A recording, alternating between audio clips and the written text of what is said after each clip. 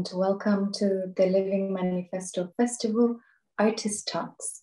Today with Lena Bruun Bondeson, who will tell us more about her work, Dear Dark Web, which she already presented during the Living Manifesto Festival Part 1 and is now sharing uh, again in a different version, a more elaborate version, a more um, reworked version now in the Living Manifesto Festival Part 2. And uh, we're very happy to invite all of you to uh, ask questions and share your experiences with Lena uh, and with everybody present. But first, I will ask Lena a few questions about the work behind Dear Dark Web and uh, yeah, I would just like to inform everybody that this event is recorded. So if you do not wish to be part of um, the visual, you can just switch off your camera. And uh, if you do have a question, please unmute yourself, uh, raise your hand and um, either with the signal or just uh, physically, or you can write a question in the chat. So yeah, thank you so much for joining everybody. And uh, welcome, Lena. Thank you for being here and thank you for allowing us to uh, ask you questions about your work and your process. And yeah, just giving us insight into the mind behind Dear Dark Web. Okay, so thank you, Lena, for being a part of the Living Manifesto Festival. The second part um, you also were already a part of uh, the Living Manifesto Festival Part 1, and you also shared your work there. Um, and um, yeah, I was just wondering um, if we could just start the conversation by you telling us about um, the subject behind Dear Dark Web, which is broken hearts and a breakup story. How did that element become such an imperative um, subject in in your work behind Dear Dark Web? Super nice to start off with. Hey, beautiful friends and family, and also other people in this super little space. Um, uh, I know you just said Nadja that you can raise a hand, but I would already now ask. Um, I would love if you have any questions or reflections or associations to the subject or to methods or whatever you've seen or not seen, I would be delighted to, to hear it. It doesn't have to be a super critical, um, sharp question. It could just be re really reflections, um, because I think that would be the nicest way to go through um, like this talk. Okay, but thank you, Nadja. Um, it's actually really nice to start up with the question of the subject um, because it's interesting. You mentioned I've been part of uh, the Living Manifesto Part One, that was in January. Um, but this uh, praxis, as I call it, has actually been going on uh, officially on the floor for two years uh, as part of the master of the um, Danish National School of uh, Theatre or performing arts. Um, but there's also been this uh, involuntary start, if one can call it, because this subject is uh, a very personal heartbreak story. And, um, and it's interesting each time I go back and visit it, um, I am surprised to see in what way um, I've dealt with it because it's a very personal question. I mean, who haven't experienced heartbreak, but to actually uh, take an outset in something as private and also as uh, such a big cliche as a heartbreak. Um, so the whole starting point uh, was a very bad heartbreak on my own that taught me into so many uh, questions about um, like a quite big range of emotions that I had not experienced in such a severe matter before. And then, first of all, going through that issue myself. But at some point, there was this interesting desire to do something about it. And um, when looking back at some of the early material um, from like two years ago, I can see that some of it is maybe pointing at this um, very classic, almost stereotypical uh, art practice or like artist practice of um, like where do you go from therapy into art making? And is there a line there?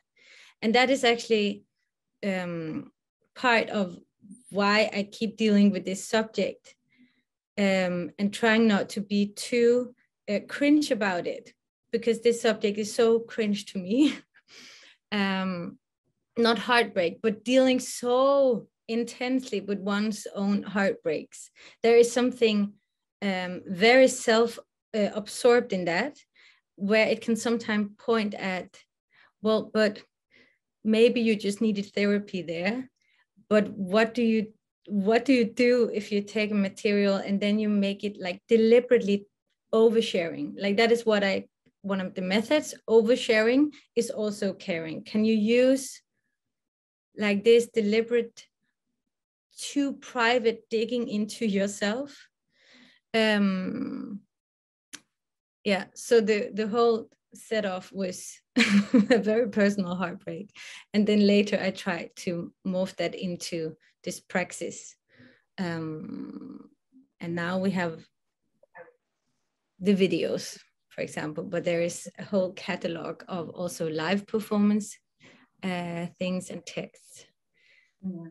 uh, maybe i came far away from the start of the question but yes. No no no. Um but but maybe to just take it where you left it off like you you mentioned these like practices or or, or the different methods that you you used. So um you also use that deliberately in in this work like you talk about or you mentioned that there are different methods and you allow the audience, the viewer, to go through these different methods, at least some selected ones in, in this part. Um, mm. Can you maybe talk about uh, the choice of these methods or what these methods mean to you? Yeah, so so I think the reason why the, this um, this project I call it a praxis is because it's keep building on top of it uh, of itself. So it started um, maybe as me uh, experiencing, oh, what I'm going through right now is something a lot of people have been going through. I mean, no shit, Sherlock, but um, uh, but that could be like, wow, I suddenly feel uh, the truth of some cliche, uh, or like a, a, lot of these um, heartbroken songs, and suddenly you can uh, experience that yourself and then i want to condense that into a method. For example um, being uh, super heartbroken in mexico and then reading about how frida kahlo deal with um, polyamorosity and being like oh that's a great method she had. She revenge fucked the pain no she um uh, she revenge fucked with very specific um um, a little bit better versions of whomever she wanted to uh, revenge, for example. That was part of one of the videos. And that became a method. So it was, um, for example, um, find your own Trotsky um, was the Frida Kahlo method. There's also been um, uh, yeah, I have so I have so many.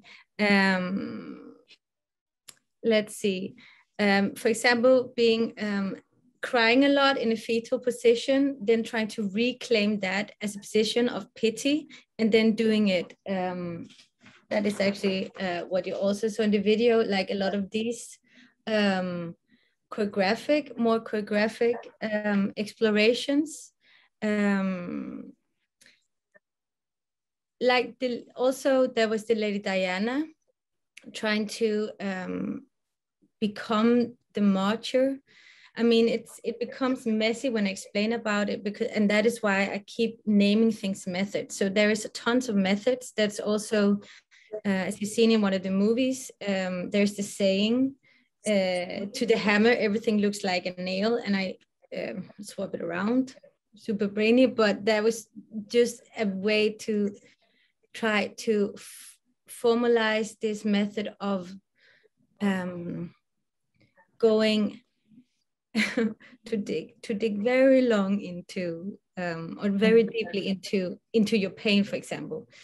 um, so it's both it's it's it so it every time there's a method it comes from something i experienced myself or that i can see other people experiencing.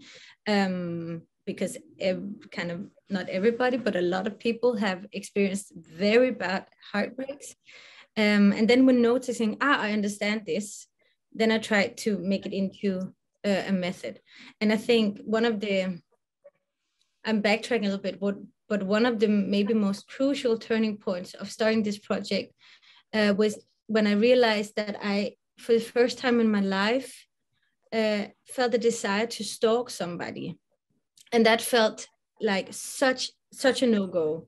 And I was like, wow, okay, I didn't know I could, my mind could go this bad. Um, and that was when the whole idea of um, of, of turning to one's dark side started to become bigger. Also being so so sad and lying in this fetal position that I needed to boot camp and choreographically boot camp the fetal position in order to get over it. And when I uh, felt like um, the in the enormous strength of of rage um, that can come when you've been very sad for a long time then suddenly you can feel this this anger that can really um, in my opinion um, lift you up. That was when i started to think okay maybe this is not only maybe i can do something about this subject that is not only about me but that can um, just go a little bit just open up this idea maybe there's something fruitful in whatever we name uh, not so recommended feelings. I mean, it's not super recommended to be in super deep grief. It's not super recommended to to stalk somebody. And I know it's a big subject right now, but light stalking, we're talking like super light stalking, or just like um uh, like revenge is not a recommended feeling. But maybe you can turn it into a mind game that can help you. And that is what I then wanted to explore, to make it into a game to to to put these methods as um, labels um, both for what I felt myself, but also to I don't know externalize it in some way so people also can look at it. Oh my god, I'm babbling, but all the time. No, I, I want. Mm? No, please. No, I just wanted to say that so much of what you're saying, you're not babbling, it makes a lot of sense. Like I, we also talked your work um, in uh, 2019 and in 2020, and um, it's just the the experience of the heartbreak. Whoever had this experience, it is such a strong experience, and it takes you to places that you would never see yourself go. And I think that a lot of people will be able to recognize that. And sometimes you don't even want to admit that. And you allowed yourself to really admit the dark places your mind or your body was taking you. And then mm. instead of, let's say, acting upon them in, in this way that you would really not want to, such as stalking, let's say, mm. making, transforming that then into this method of dealing with it, right? If I understand that correctly through, through exactly. the art or through the process is sort of it's kind of like a a healing process in, in some way or at least a, a dealing process but that's the whole point with like for, for me like yes my little storyline has been like well i can look at some material and see like whoa that was therapy. Okay that is maybe more art and there's a difference but uh, can other people use this? And i i think mm-hmm. like the whole subject of i keep coming back to the the most umbrella like method of all of them is like oversharing is also caring and that is also like a pun but who cares? But there's something about uh, that i want to use my own uh, uh, to point at and to over explain and overshare situations i felt that has been very pitiful and very shameful because that that has been like the uh, um, now. There's been a cornerstone in can I um, uh, can I use myself so uh, so privately and so privately and and point at how pitifully that situation is so you can um, mirror yourself in it. Um, I, I mean, there's very many editions of this um, project, but one that has been part of the live a live setting has been trying to be uh, very drunk on the dance floor and um, and walk around um, between people.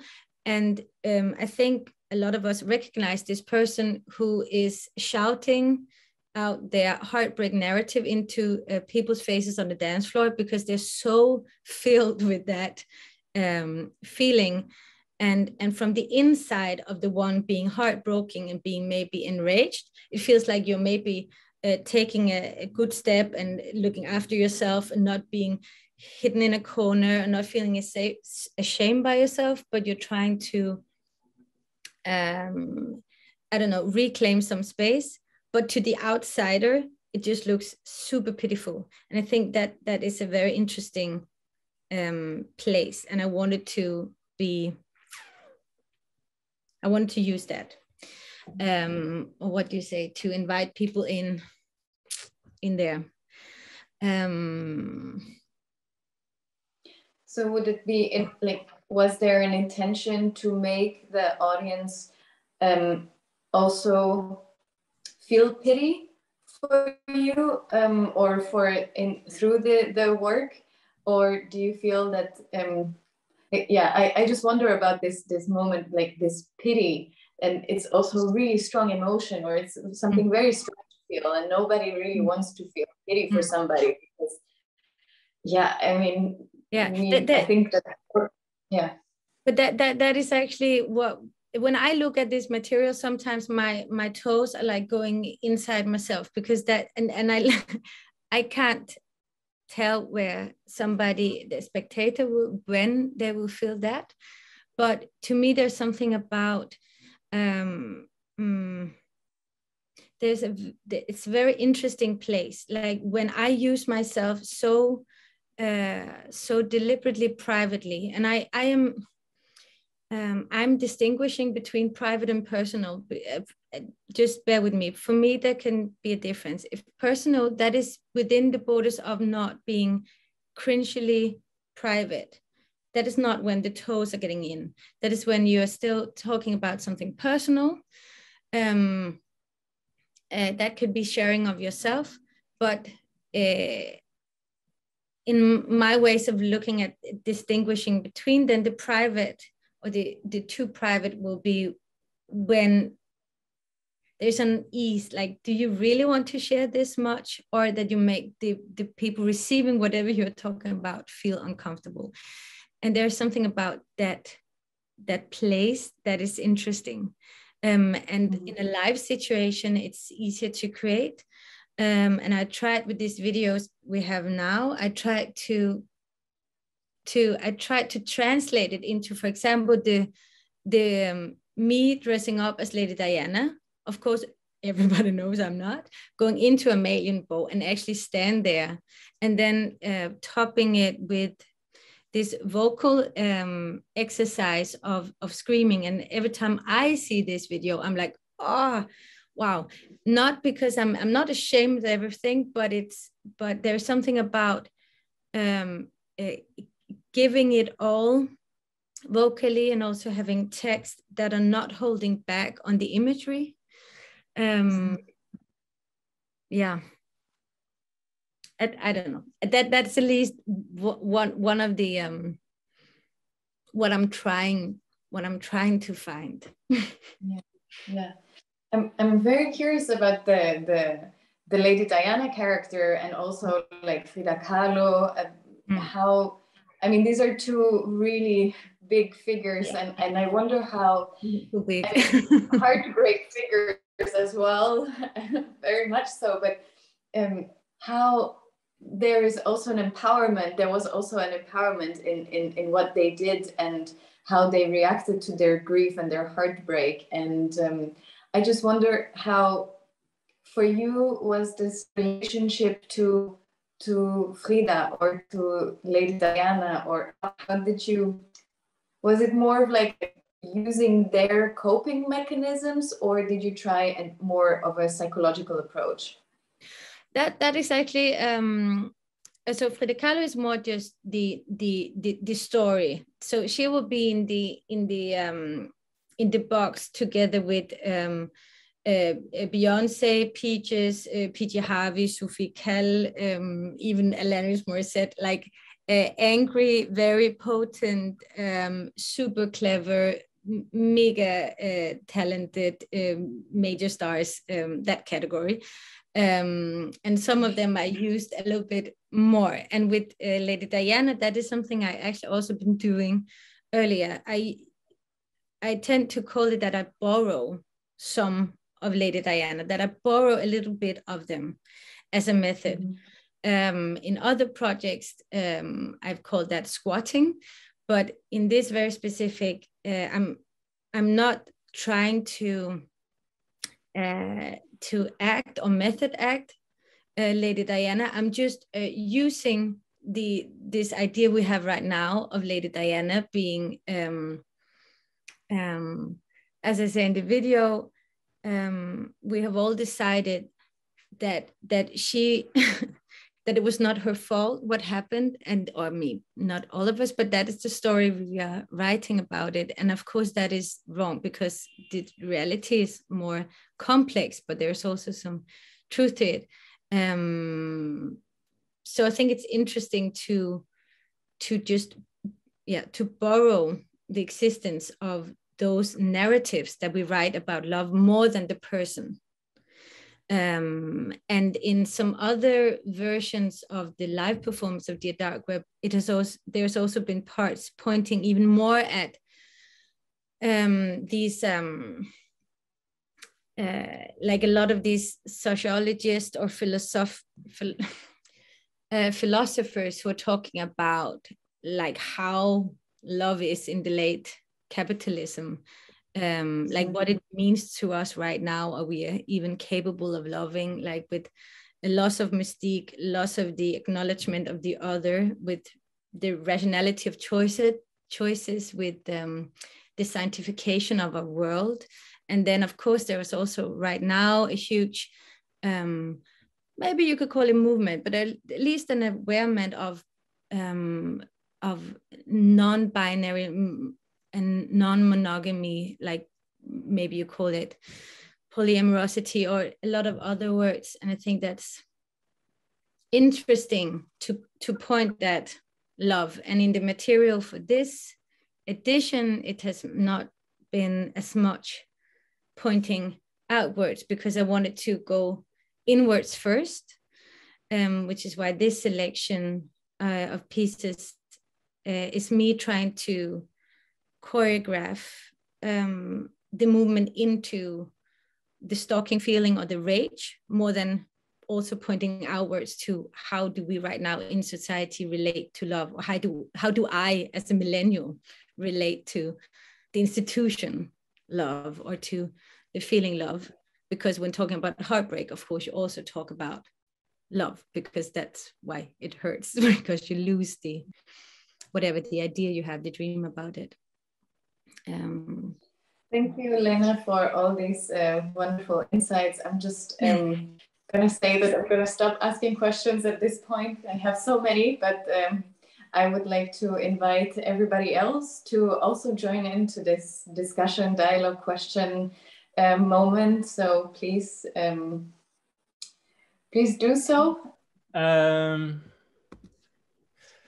so the whole movement of the end of uh, no, Camille and um, this institutionalized love, does it also mean uh, the end of the dark web in a way? Because we also lose the whole space of uh, heartbreaks and this whole losing of someone uh, yeah so do yeah. okay sam i just need to understand it correct so so um mm, in terms of of um okay so what i find interesting with the with the dark web is um maybe that is pointing okay so there's a difference between um, the, the freedom of whatever is possible to get at, at the dark web and whatever we um, uh, tillader, um, damn it, what is that word? Um, that we're accepting on on the on the wide web, and of course there's a loss uh, of freedom, but there's also the the loss of uh, safety because everything is on the dark web but but um but in I don't know, sometimes when you look, I think it's interesting with the subject of love because it's been forever, of course. It's not like seen capitalistic, um, late capitalistic uh, specific. And therefore, it's also interesting to look at how it has been related to differently. Um, and, and then using a metaphor um, that is so that is so now. It's like how how old is the in, internet? I i should know. That's 20 what 20 years or something. Maybe it's more maybe it's 30 but um but we're trying to structuralize it in a way. And i don't know maybe one can see that we're also trying to uh, institutionalize or structuralize or destructuralize an a concept or an institution whether it's then the internet and the free mobility of the internet or the free mobility of um, a love relation. But I don't know. I'm not sure exactly what you pointed at. So maybe you want to restate the question again. Yeah. Uh, let me think about it. I will come back to it. Great. Great, okay. But at least I would like to point at something that I hope um, I would love to get uh, whatever write me later or just your thoughts on um, how it was to go through um, the, the experience of going through. I know we talked about that, Nadja, like how this project has changed from the first um, part in January into now. And the biggest difference is that I've been able to at least try to to to curate how you move through it and not just watch the video popping up on a link. Um, which means that it's deliberate that they open new tabs everywhere, that you're always having a blinking um, flash banner, um, that something would be direct downloading, because I'm trying to, at least it has been my miniature um, uh, way of trying to uh, um, copy how early internet functions or how we right now have decided that a secure internet should function. We have put up a lot of, of restrictions toward it, like we have uh, glitter blockers and we have um, these pop-up ad blockers and stuff like that, um, which is re-altering how we move on the internet. And it makes it uh, more secure, but also maybe less free. And there is perhaps a metaphor there, but go go for it yourself. Um, yeah.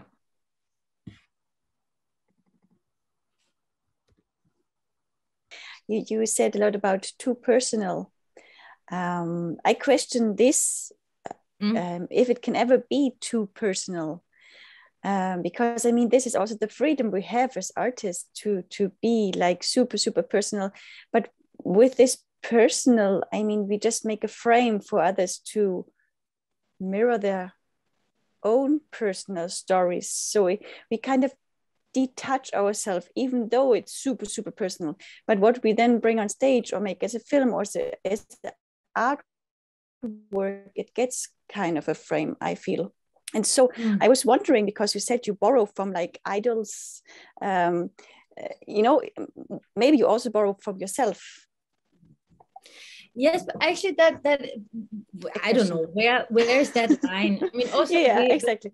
since um uh, since uh, me and Annika and Nadja also have been working on the floor together with a um, with Falk Richter, who talks a lot about uh, autofiction, which is like starting with the autobiographical point of view, but then going fictionalizing it. And and it's interesting to to go like, can you like when is it a fiction? When is it me retelling a story about something I experienced or uh, translated into movement? When does it leave the objectivity of, of me and become something more? And when does it become something less? But there is easier when you're in a room physically with somebody. Um, I think it is possible to to create an atmosphere of uh, making people a little bit uncomfortable with how much you're dealing with, and that is, uh, of course, easier if you know the artist on stage um, and it's it's easier to be it's like there's no end to whatever you're telling if you don't know the audience. Um, but it's interesting to figure out is there a way to be mm, i don't know on on the edge of that feeling of like ah are you really comfortable with sharing that or am i comfortable with hearing that right now? Um, and that is of course super subjective for people but um but yeah i mean i'm also questioning it myself. Like is that possible? I mean i think that's also the beauty about it because it goes so deep so others mm. also can open up to feel so deep. And it's not like mcdonald's food you know you're just eating something and then you're hungry again. It's really like something delicious. Or not delicious but you feel it you know you really mm. feel it. Um, mm. and you have time to taste it so but yeah i appreciate it a lot your work and your sharing. Yes. thank you. And it's but so I'm, funny. Can it go all the way back again? If you go so deep that it doesn't it leaves fast food it comes it becomes um uh, slow cooking. But can you slow cook something so much that it almost becomes yeah like a cliche again. I'm wondering i'm wondering if it can actually go the full but, circle but even that could my feeling of being uh, yeah. deliberately oversharing on a dance floor mm. i am slow cooking my life away on a dance floor but somebody meeting me will be like wow i don't know too too much and maybe mm. too much would be fast food i don't know but some like that maybe also and though then you have reached those so yeah. Voila. voila. Thank you so much for everyone's beautiful questions and comments, and uh, Lena for sharing uh, so much and being so personal and being so open about the process and the idea behind Dear Dark Web. And um, yeah, just the intimacy and vulnerability behind your work and um, also how much it means to to be able to observe or watch it or experience it and knowing how much that can resonate um, with a viewer thank you so much um, if you do have further questions for lena you can always write us and we can we will pass on the information or you can get in touch with her directly um, it's been really nice. Thank you so much. Is there anything else that you would like to share before we close this uh, artist talk, Lena? I'm just still thinking about stuff, but thank you for uh, for for joining. Wonderful people.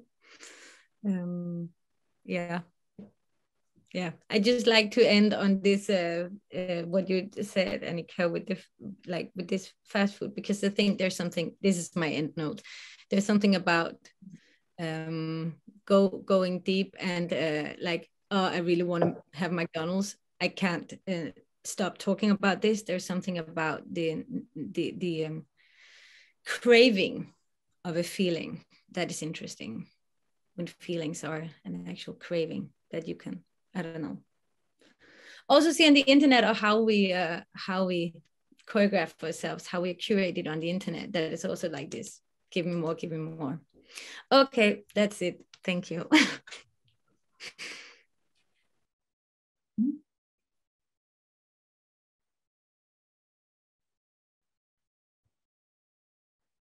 Okay, wonderful. Thank you all so, so much for being here today, for spending this time with us, for listening, for asking, for caring, for sharing. And um, yeah, it's been beautiful And just to let you know that this was the last live event of the Living Manifesto Festival Part 2. Uh, four days of uh, events uh, throughout. Uh, we had live talks, uh, guest speaker dialogues, uh, project releases. And just to let everybody know, if you missed something, don't worry. For another two weeks, everything will be up on our website. You will have access 24 7 to everything that um, was released or happened live throughout the entire festival period. So you have access to everything until the 26th of September until midnight. And then after that, we will take everything down, um, just so you know. Um, but yeah, thank you everybody for joining. Please check out everybody else's work as well continue supporting everyone who participated, especially the artists. Um, it's so great to create all this work. It's so great to be able to share all this work with you. And uh, please just keep looking out for the Living Manifesto Festival. Uh, there will be hopefully a new edition next year, but until then, enjoy the current program, two more weeks. And yeah. Thank you, everyone. It's been great. Have a lovely evening. Bye.